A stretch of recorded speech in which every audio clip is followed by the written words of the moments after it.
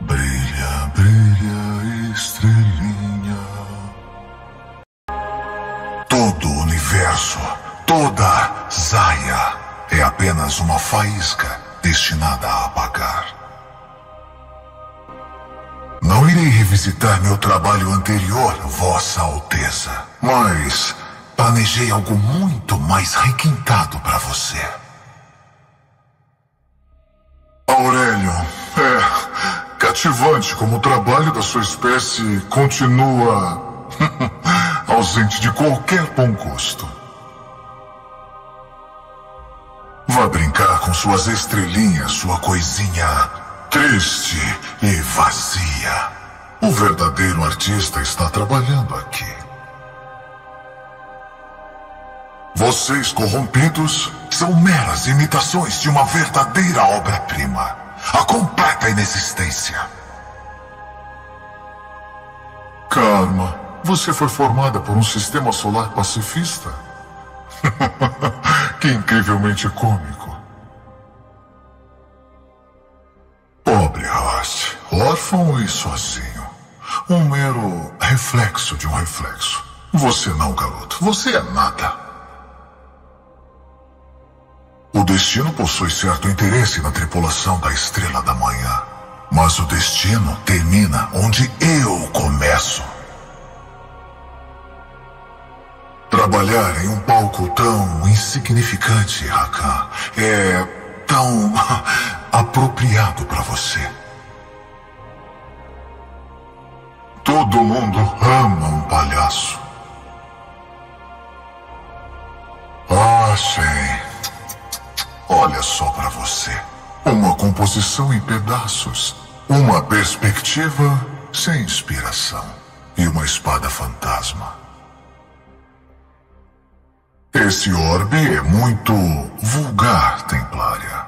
Eu me livraria dele se fosse você. Você se acha um gênio poético, Trash. Mas eu sei o charlatão que você realmente é. Sim, Varus, você contém multitudes, mas qualidade é infinitamente melhor do que quantidade. Dizimar galáxias, Zed. Que falta de imaginação. Permita-me torná-lo parte de algo muito maior. Gostou? Você é uma amante de arte. Eu sei que você entende. Materiais baratos, pouquíssimo valor artístico, lixo cósmico, tudo isso empesteando meu palco.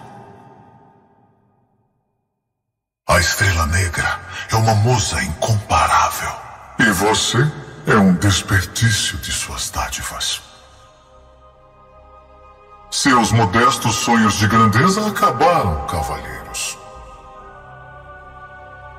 Você abriu aquele? Excelente. Uma mudança de ares me fará muito bem. O que você pode se tornar? Uma estrela de nêutrons? Uma gigante vermelha? O que Rakan significa? Me conte! Eu gosto dos seus antepassados, Sona. Estão todos mortos, mas ao menos tinham finesse. Você nunca entendeu o valor da arte, Trash. E essa é a verdadeira tragédia.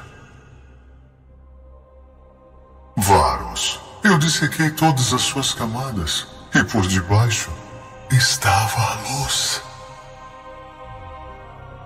Você não pode lutar contra a providência divina, Zaya. Apenas aceitá-la.